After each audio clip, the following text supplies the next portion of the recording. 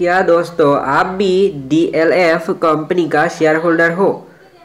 तो इस वीडियो पर हम जानेंगे एफ़ कंपनी का शेयर के बारे में। तो यहाँ पर देखा जाए दोस्तों तो देखो कि एफ़ का स्टॉक का जो है ना, कुछ दिन बहुत ज़्यादा बायर का एक्टिविटी था, उसके बाद सेलर का एक्टिविटी इंक्रीज हुआ था।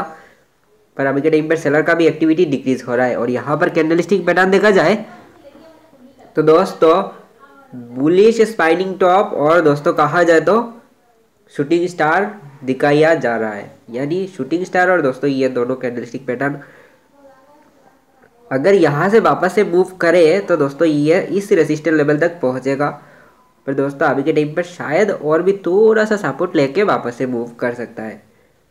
तो दोस्तों, इसका सपोर्ट लेवल में देखो दोस्तों, कोशिश करना खरीदने का। और उसके बाद उसके साथ चलो और अच्छा खासा प्रॉफिट बुक कर सकते हो दोस्तों। तो ज़रूर कमेंट करना कि क्या आप भी दोस्तों डीएलएफ का शेयर होल्डर हो कि नहीं।